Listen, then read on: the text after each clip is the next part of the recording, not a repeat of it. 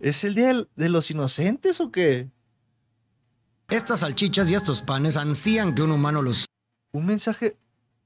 No mames, es el oficial. Yo pensé que iba a ser un video del Illuminatus. Saque del supermercado para poder tener intimidad. De hecho, todos los alimentos en este supermercado creen que los humanos son dioses que los llevarán al paraíso sin saber que su destino es ser consumidos. Pero cuando uno de ellos Ellos se lo copiaron a Bobo Cartón. descubra la verdad, intentará advertir a los demás, aunque nadie le creerá. Yo a primera vista, esta historia puede parecer un simple cuento cómico lleno de chistes subidos de tono. Sin embargo, detrás de esta irreverencia se esconde un mensaje profundo sobre las creencias rígidas, las divisiones que generan y también sobre la idea de la muerte de Dios que el filósofo Nietzsche describió. En el Ya te fuiste a la chingada, güey. bueno, puede ser. supermercado Shopwells, los alimentos como frutas, snacks y bebidas conviven esperando ser comprados. Creen que los humanos son dioses que, al llevarlos, los conducen a un más allá maravilloso donde nada malo les Es un mensaje muy profundo, ¿no? Simplemente que lo envolvieron en un paquete que irresistible para cualquier puerto. Sexo. Animado. pasa. Cada mañana cantan una canción en la que prometen su amor eterno a los dioses y explican que, aunque cada pasillo tiene creencias diferentes, todos coinciden en Deja tú, no creo que pasó terror al ver esta película. No, el terror lo pasaron la gente que la hizo, güey. Mm, tuvieron más crunch que lo de Rockstar. algo. Los demás son tontos, excepto quienes piensan igual que ellos. Un paquete de salchichas comienza a coquetear con un paquete de panes, anhelando la intimidad que solo podrán alcanzar una vez que lleguen al más allá. La salchicha Frank y el panecillo Brenda ya están enamorados, pero por ahora solo pueden Fran y Brenda. Si tienen nombre de colonia popular, güey. tocarse las puntas. La salchicha Barry, algo desilusionado por ser más pequeño, espera encontrar en el más allá un pan igual de inusual con el que encaje mejor. En ese momento ven acercarse al empleado del supermercado al que los alimentos llaman señor tenebroso. Todos están aterrados cuando se acerca las salchichas, pero por suerte para nuestras salchichas, toma un paquete cercano y lo tira al basurero. Un humano llega después de comprar por error mostaza con miel en vez de la normal. Al cambiar la botella en el pasillo, despierta la curiosidad de los otros alimentos y del ketchup cercano. La mostaza con miel experimentó el más allá, pero está visiblemente asustada y no es capaz de explicar su horrible experiencia. Una Le permitieron regresarla, güey. Y ponerlo otra vez en estantería. No, eso no se puede. güey. empleada anuncia que la tienda cerrará en cinco minutos. Los paquetes de salchichas y panes se desilusionan, pero justo entonces una Mi mujer se llama Brenda, culón. Y tú, Emiliano Fran. Mujer los elige a ellos y a otros productos, incluida la Dile, dile, somos tú y yo. Mira, checa este video. Te va a cambiar la vida. Botella de mostaza con miel. Mientras todos celebran, la mostaza les advierte que en realidad están festejando su perdición. Les revela que el más allá es una mentira. Los humanos no son dioses, sino monstruos. A pesar de la advertencia, los demás alimentos ignoran a la mostaza de miel. La mostaza está decidida a no volver al más allá y antes de lanzarse el carrito de compras para eliminarse, le dice a Frank que si quiere saber la verdad sobre los humanos y el más allá, debe encontrar a la botella de aguardiente. Después de que la mostaza con miel se rompe, un accidente con el carrito provoca un caos total. Los productos se esparcen por todos lados como si fuera un campo de batalla. En medio del desorden, Frank se cae de su paquete y Brenda, el panecillo, sale del suyo para salvarlo. Ambos se quedan en el supermercado mientras que Barry y las demás salchichas siguen en el carrito con un destino incierto. Otro producto que se cayó del carrito fue Ducha, quien terminó con la manguera torcida. Molesto, culpa a Frank y Brenda y se lanza contra ellos, pero su ataque es detenido por el señor tenebroso encargado de limpiar. Frank agradece Sí pasa, sí pasa. a Brenda, quien le dice que no hay más allá sin él. Frank piensa en lo que dijo Mostaza sobre el más allá y empieza a Ay, se dobló la, la Brenda. cuestionarse. En ese momento se encuentran con dos compañeros que también salieron de sus empaques por el accidente. Sammy, un bagel judío, y Lavash, un pan del Medio Oriente. Lavash culpa a Frank y Brenda por lo sucedido y los insulta. Cuando Brenda lo enfrenta, él le dice que se cubra y sea más modesta. Lavash está furioso porque no llegó al más allá El problema de la película fue que no salió después. Donde soñaba con bañarse en los jugos de 77 botellas de aceite de oliva extra virgen que lo esperaban. Brenda sugiere que vuelvan a sus pasillos y entren en otro paquete para tener otra oportunidad de ser elegidos y todos están de acuerdo. La película es mucho más que solo comedia y chistes subidos de tono. Detrás de toda esa irreverencia es posible encontrar una crítica seria sobre las creencias rígidas y las actitudes intransigentes. Desde el principio vimos a los alimentos cantando a sus dioses agradeciendo por todo y esperando ser elegidos para ir al gran más allá, un lugar que nadie ha visto nunca, pero en el que todos confían como lo mejor que les podría pasar y por eso se esfuerzan en comportarse de la manera más correcta posible. La canción también nos revela que cada pasillo del supermercado tiene creencias diferentes sobre qué sucede al ser elegidos. Aquí nos queda claro que hay un sistema religioso dentro del supermercado. Y lo más curioso es que en un tiempo de expiración muy diferente para cada uno, ¿no? Y podemos ver el supermercado como una analogía del... El problema es que vos le ganas. No quiero decir nada, pero ya lo habíamos vivido. En México.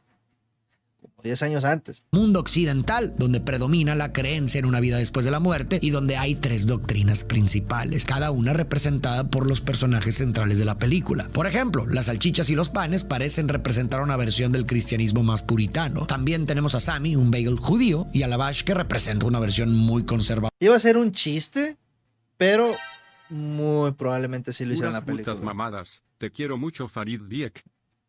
Es un grande.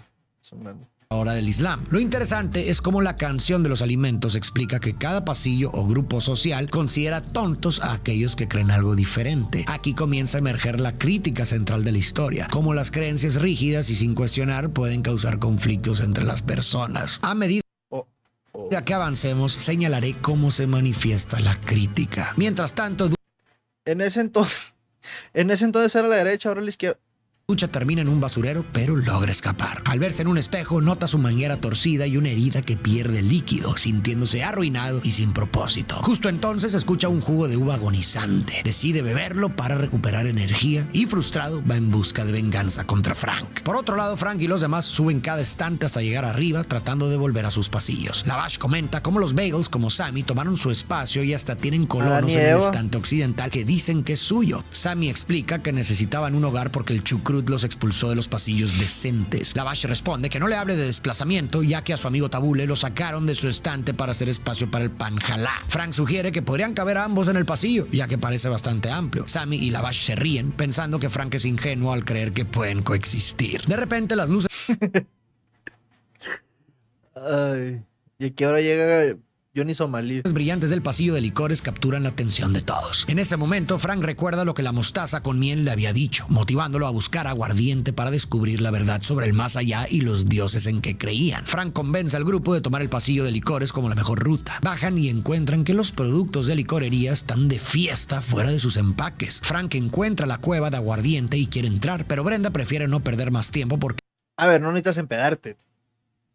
Ya estás, o sea, ya eres la peda, güey. que no quiere enfadar más a los dioses. Frank asegura que será rápido y entra en la cueva, mientras los demás lo esperan afuera. Frank ve a Hasta se me hace raro que no los pintaran como mexicanos. ¿eh? Aguardiente, quien tiene apariencia de nativo americano, junto a una fogata. Aguardiente le cuenta que es el habitante original de esa tierra y que su grupo fue expulsado por unas galletas blancas. Frank pregunta qué sucede realmente en el más allá. Aguardiente entonces llama a dos viejos amigos no perecederos, Twink y Sémola, quienes revelan que en el más allá los hombres consumen a los alimentos para fortalecerse. Cada muerte les da más poder y su hambre nunca se sacia. También explican que ellos inventaron la historia del más allá como un lugar maravilloso para proteger a los demás alimentos de la cruda realidad. Frank quiere contar la verdad a todos los alimentos. Aguardiente le advierte que nadie le Llegaron al Vaticano, mamón. creerá. Frank pregunta si hay alguna prueba y Twink le dice que busque en el pasillo oscuro, más allá del hielo, pero le advierte que lo que ve allí lo perturbará para siempre. Mientras tanto, Brenda se angustia porque Frank no ha salido. Lavash le dice que parece que la abandonaron. Ella no lo cree, ya que Frank y ella tocaron puntas, pero Lavash le responde que su inmoralidad es repugnante y quizás por eso la dejó. Brenda empieza a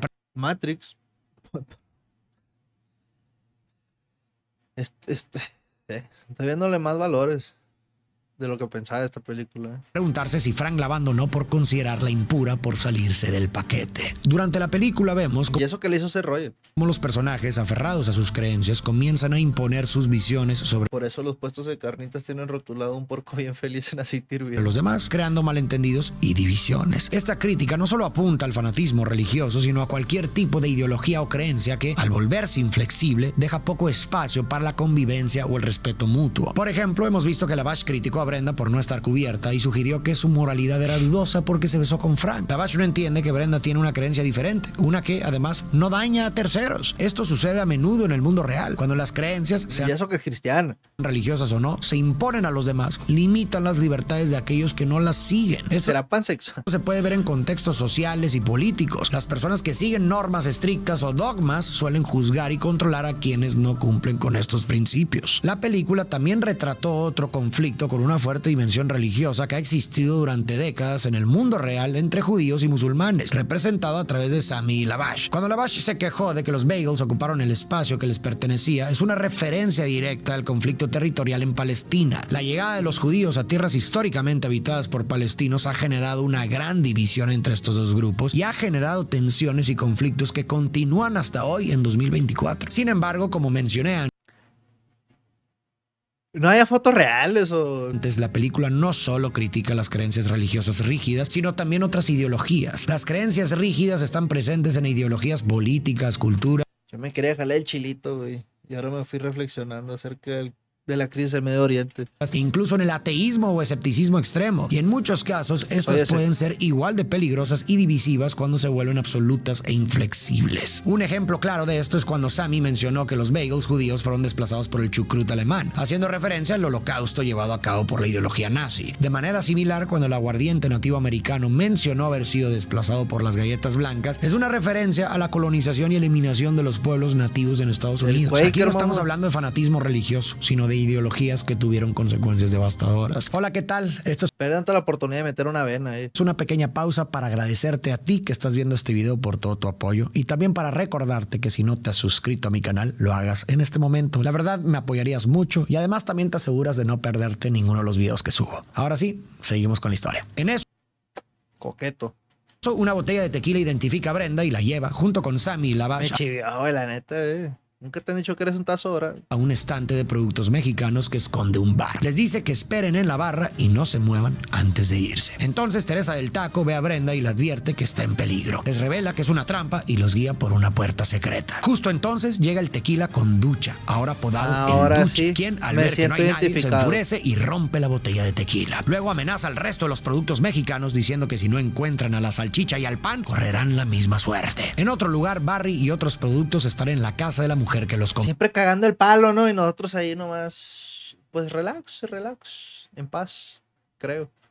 Las salchichas están entusiasmadas. Al sacar a los alimentos de los empaques, la mujer se prepara para cocinar sin que ellos sepan el dolor que les espera. Primero, pela y hierve una papa. Luego corta tomates por la mitad y asa tocinos. La tortura sigue Es- está horrible esa papa, la verdad. Me dio tripofobia. con el resto de los alimentos. Al presenciar esto, Barry y otras salchichas están horrorizados e intentan escapar por la ventana, pero el amigo de Barry es trágicamente cortado por un cuchillo. Barry logra saltar por la ventana justo a tiempo. Barry camina por la acera aterrado por lo que ha visto, sintiéndose sin esperanza. Al ver a un hombre con una bolsa de Shopwell, piensa que podría llevarlo de regreso al supermercado para advertir a los Pero no querían creer, culeros. otros alimentos de las cosas horribles que vio y corre tras su coche. En el supermercado, Frank encuentra a Brenda y a los demás en el pasillo de comida china. Les cuenta lo que descubrió, pero Brenda cree que está loco y le pide que se detenga. Los dioses ya están enojados y tienen que volver a sus lugares antes de que sea tarde. Ahora, las creencias rígidas incuestionadas no solo afectan a los demás, también pueden crear conflictos internos. Brenda, por ejemplo, está atrapada en su propia rigidez Es como Toy Story 2, ¿no? Si fuera buena. moral. Vemos cómo constantemente está en Estoy mamando, estoy mamando. Me encanta, güey. No. La que es un desperdicio, un despropósito es la 4. Dios. conflicto con ella misma. Se siente culpable y atormentada por la idea de no ser lo suficientemente pura o de no seguir las reglas que le enseñaron. Siente que siempre estaba La 5. No, ya salió. Bajo la mirada de una No, entidad superior que la juzga. Y esto le genera una enorme carga emocional y la mantiene en un ciclo de culpa que le causa mucha ansiedad. Y esto le sucede a muchas personas en el mundo real. Si alguna creencia o norma que te han impuesto te genera conflicto, no te culpes ni te castigues tan rápido. Tómate un momento para cuestionarla. ¿De dónde viene esta creencia? ¿Por qué la sigues? ¿Realmente refleja lo que quieres en la vida? ¿Daña a otros? A través de este proceso de reflexión, creo que podemos llegar a un El pedo es separarte, ¿no? De lo que tú crees que te hace como una persona. O aceptado, querido en ese círculo. Puedes cambiarla tú, pero aceptar que los demás no lo van a hacer. Está cabrón. Ponte vergas. Una conclusión que sea más auténtica para Ya nosotros. Y eso es apropiarnos de nuestras Ah, creencias. perdón. Frank quiere ir al pasillo oscuro para descubrir la verdad y le pide a Brenda que lo acompañe, pero ella se niega. Él le dice que no entiende cómo puede creer en algo sin pruebas y ella le responde preguntando por qué solo Ay, pa, no te había visto así. eh. Puede creer si tiene evidencia. Le Ay, el salchicha tampoco. cuestiona si entonces debe dejar de creer en todo, si nada tiene sentido. Frank le dice que es mejor eso que creer en cosas absurdas. Brenda le explica que quizás no necesita explicarlas porque simplemente las siente. La discusión Ya, chiquistriquis. Estoy bromeando. eh. Se intensifica y Brenda decide irse diciendo que buscará el más allá y se llenará de otra cosa. Frank termina solo. A pesar de todo, decide ir al pasillo oscuro para comprobar si lo que Aguardiente le dijo es cierto. Tienen que respetar. Si la ama, va a dejar que ponga sus ideas en claro. Y si ella lo corresponde, volverá. Por otro lado, el Pero hay que respetar ese proceso de la pareja, amigos. Ni modo, es parte de. Auto lleva a Barry no al supermercado, sino a la casa de un hombre que se inyecta una sustancia que llama sales de baño, lo que altera su percepción. El hombre de repente empieza a escuchar a los alimentos hablar y protestar por ser consumidos de forma tan horrible. Asustado, promete dejar de comer alimentos y solo comer tierra. Barry le pide volver al supermercado. No, ya sé dónde terminan esos. Se hacen caníbales. Mercado y el hombre acepta después de descansar. Sin embargo, cuando despierta, los efectos desaparecen y ya no puede ver ni hablar con la comida. Ahora, hambriento, toma a Barry y se dirige a una olla hirviendo. Mientras tanto, en el supermercado, Sammy, Lavash y Brenda llegan a sus lugares. Lavash le dice a Sammy que su viaje Hubiera estado gracioso que sí lo vieran las personas, ¿no? ¿O no? fue tolerable. Al llegar No sé, güey. Me siento como en un sueño de fiebre. No es tanto por la película, güey. Por el video. las familias de Lavash y Sammy se insultan mutuamente, pero ellos se miran conmovidos. Antes de despedirse, Teresa del Taco le Miren, podrán decir lo que quieran de los tacos tostados, pero igual valen. Son ricos. confiesa sus sentimientos a Brenda, pero esta la Confirmo y hablo con la comida cuando estoy pedo. Hear me out. Rechaza alegando que no es lo que los dioses desean. Finalmente Brenda llega a su estante y entra en un paquete de panecillos. Mientras Frank toma otro camino que lo lleva a la sección de utensilios de cocina donde ve los objetos que los humanos usan para cocinar. Ahí descubre un libro de cocina que revela la verdad sobre el destino de los alimentos, ser consumidos por los humanos sin un propósito divino como él creía. En otro pasillo, el duche intercepta una botella de vodka y la consume para recargar energía. Luego sigue persiguiendo a Frank. Pero porque no hay nadie que. Que los vea como. Sí, como dioses, pero con el propósito, ¿no? De seguirlos alimentando. Pero ya con un fin divino. ¿Por qué tiene que ser negativo? güey?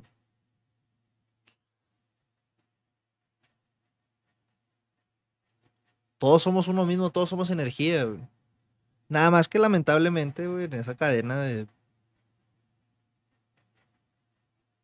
de quién es el más fuerte, ¿no? Por así decirlo, pues terminaron perdiendo, pero Este, usando las televisiones del centro comercial, transmite la verdad que ha descubierto mostrando eso que, mira, ahí te va, eh. Y esto me acordé así como que de mis ideas remotas, güey, de catecismo. Se supone que tú te tienes que transformar en un árbol o en comida, sí o sí. Entonces cuando te creman estás pecando, güey. Pero eso ya no te lo dicen ni siquiera en las iglesias. El libro de cocina. Los alimentos se quedan sorprendidos por las imágenes, pero desesperanzados creen que no pueden enfrentarse a los dioses. Ignoran las advertencias de Frank, descartándolas como una simple teoría y continúan creyendo en el paraíso del más allá. Frank les insiste que no es una teoría y ¿Qué? No mames, se nota, que les falta un chingo por vivir, güey. No saben nada, güey. Qué bueno, presten atención a este video con tantos mensajes profundos.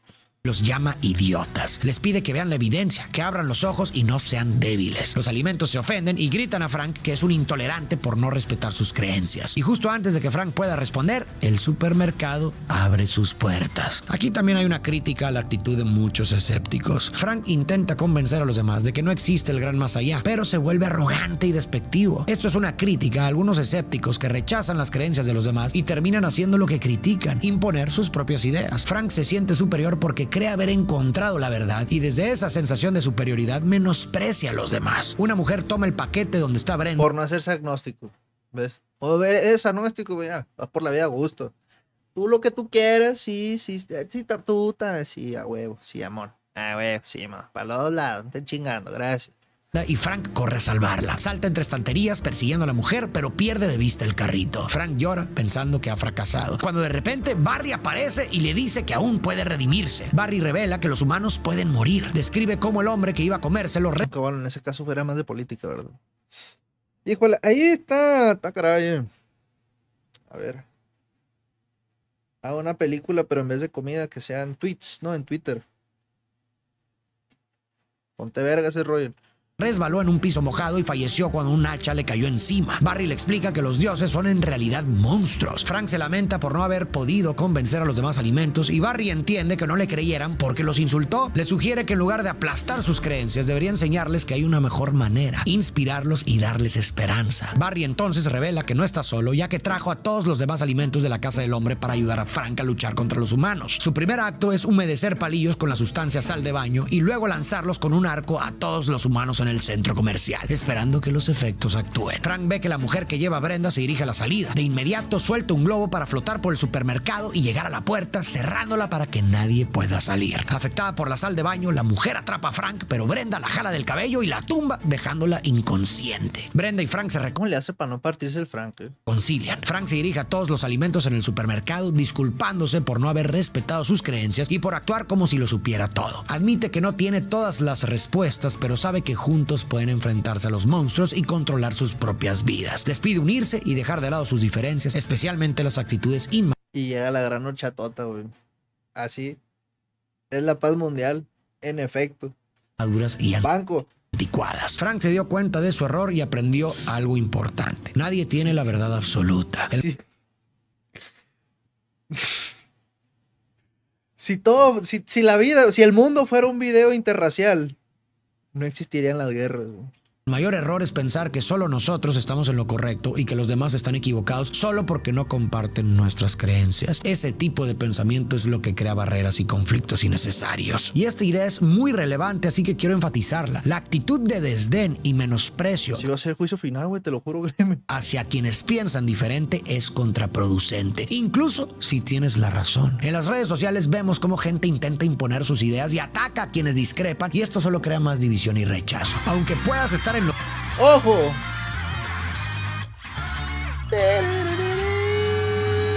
¡Ey! Muchas gracias por unirte con tu membresía. Bienvenido, Anónimo. Ay, güey. Anonymous. cierto, esa actitud hostil bloquea la efectividad del mensaje, llevando a que probablemente sea Exacto, güey. Podemos conversar. Ok, si no nos ponemos de acuerdo y si no nos seguimos, ok. Pero la conversación no nos tiene por qué hacer enemigos, güey. Y ahorita es, si no piensas igual que yo, eres mi enemigo y eres lo peor y eres el otro extremo. Terrible. Mal, mal, mal, mal. completamente descartado. Todo ese mensaje profundo se pudre en la escena de la orgía. Si eres débil mentalmente, tal vez. Castigo y la reprimienda no enseñan. En cambio, el diálogo respetuoso y dar el ejemplo sí fomentan el entendimiento y aprendizaje mutuo. Nadie puede saberlo todo ni tener todas las respuestas. Y no necesitamos eso para vivir en armonía. Pero lo que sí podemos hacer es inspirar con el ejemplo, respetar las diferencias y trabajar juntos ¿Quién diría que una película basura tendría tan profundo mensaje? por un bien mayor. El problema no es tener Ni los que le hicieron sabían. creencias, sino cómo las Es- es la magia del cine, ¿no? A veces quiere hacer una cosa y produce otra. vivimos. Las creencias en sí no son malas. Lo que las convierte en un problema es la rigidez con la que se aplican y la falta de empatía hacia quienes no comparten esas creencias. Para mí, el valor de una creencia no está en lo que crees, sino en cómo lo que crees te hace comportarte. Si Si la gente se hablara al Chile no habría guerras. Ahora imagínate si se culiera. Tus creencias te llevan a despreciar, juzgar o imponer tu visión a los demás, quizás deban reconsiderarse. Al final nuestras creencias pueden unirnos o dividirnos y lo que realmente hace la diferencia es cuán flexibles somos al vivirlas y cuánto respeto mostramos a los demás. El verdadero peligro no es tanto creer o no creer, sino el fanatismo que surge de no estar abiertos a otras formas de ver el mundo. El reto entonces es aprender a vivir nuestras creencias de manera que nos conecten con otros en lugar de separarnos. En ese momento los humanos ya afectados por la sal de baño empiezan a atacar a los alimentos, golpeándolos, mordiéndolos y pisoteándolos. Los alimentos se dan cuenta de que Frank tenía razón. Un hombre grande está a punto de aplastar a Barry, Frank y Brenda cuando de repente aparecen Lavash y Sammy trabajando juntos. Dejando atrás sus diferencias, arrojan utensilios al humano para salvar a sus amigos. Motivados por este acto, los dulces se organizan y logran atar al hombre Excepto que son testigos de Jehová, están bien raros esos datos. Yo no van, cancha. Mínimo un menonita, pues son güeros, ¿no? Ah, qué ver. Grande al suelo. Entonces una botella de cola y unas mentas se lanzan a su boca y lo hacen explotar. Las frutas y las botellas de salsa lideradas por Teresa del Taco demuestran sus habilidades colgando a un hombre de una cuerda y golpeándolo como a una piñata, mientras las latas de comida, botellas de agua y cajas de cereales se suman a la resistencia. Que no me llamo Chad, güey. Y si te llamas Rayquaza, ridículo. El duche también aparece, pero está Pokémon Esmeralda, güey. Demasiado cansado para seguir persiguiendo a Frank. En cambio, al ver al señor tenebroso agarrar un arma, aprovecha Sí, güey, me llamo Rayquaza López. Ay, perdón. güey. la situación Mi papá era así, ya no expliques más. y se mete en su trasero. Frank se lanza contra el señor tenebroso, quien dispara al aire descontroladamente por tener al duche atrapado. En un movimiento brusco, Frank queda colgando del pantalón del señor tenebroso, inmovilizado por duche. En ese momento, el señor tenebroso apunta a Frank, pero justo antes de disparar, Barry empuja un carrito de limpieza con un tanque de gas hacia ellos. Viendo el carrito acercarse, el duche suelta a Frank, quien es atrapado en el aire por Brenda. Sí pasé todo en esta película, ¿eh? Y Brenda, ¿cómo salva la vida al Frank? Finalmente, el carrito arrastra al señor tenebroso y a Duche y los alimentos forman muros para dirigir el carrito hacia Lavash y Sammy, quienes encienden un fósforo causando que el carrito explote en el aire. Todos los alimentos celebran su triunfo. Frank y Brenda, como sal Al final del día, todos son americanos. Iba a decir hasta los israelitas, pero pues obviamente, güey. Es como otro estado aparte, ¿no? chicha y pan, tienen intimidad, lo que provoca que todos los demás alimentos también lo hagan. Todos terminan dándose entre todos. Es más, hasta tiene más apoyo que Puerto Rico. Ya. Después se encuentran con Aguardiente, quien los felicita y les revela una gran verdad. Han destruido una mentira, pero deben saber que ni él ni Goma son reales. Explica que su mundo es una ilusión creada para entretener a monstruos jóvenes y que en realidad son personajes de dibujos animados controlados por actores. Goma abre un portal hacia nuestro mundo y los alimentos deciden entrar Sí fumó, sí fumó. De la más maciza de California ese güey. Para cortar sus lazos con ese mundo de ilusión ¡Ey, ey! ¿La culiazanga qué? para Tiene siempre. un mensaje también, ¿no? El final de la película me recuerda a la frase de Nietzsche, Dios ha muerto. Con esto Nietzsche marcaba el declive de la No, sí, lo mataron bastante, güey. influencia de Dios y la religión en cómo entendemos el mundo, especialmente tras el avance de la ciencia. Pero también advertía que sin Dios como base esencial, la moralidad y el propósito de la vida podrían comenzar a desmoronarse. Nietzsche temía que sin esa referencia enfrentaríamos un vacío moral y existencial que podría llevarnos al nihilismo o a un hedonismo vacío como pudiéramos interpretar el final. Su principal preocupación era que la sociedad no estaba preparada para manejar la libertad y responsabilidad de O sea, como Wally. Pero este todavía más acá complejo. Acá. sh. Pa' gente de, maestría, doctorado, para arriba. radical que viene sin una autoridad divina que dicte las reglas. Según Nietzsche, el reto tras la muerte de Dios es que la humanidad debe crear sus propios valores y encontrar un propósito genuino para la vida en lugar de caer No mames, con lo de Nietzsche se mamó.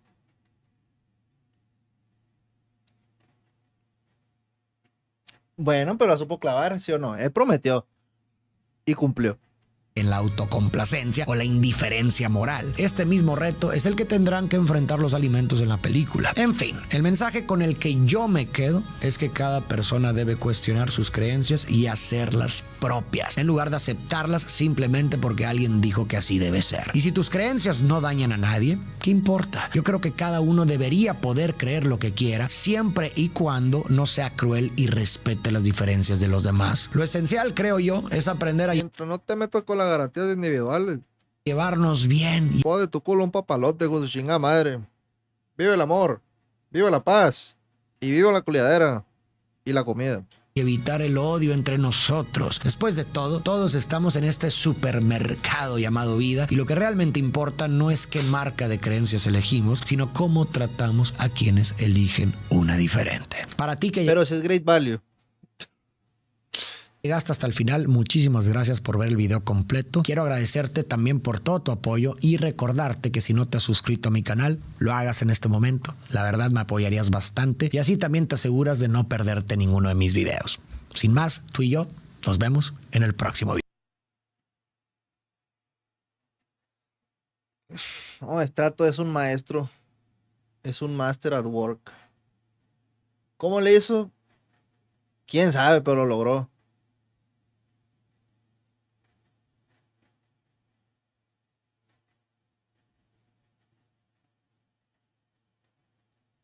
Me voy a suscribir de este canal.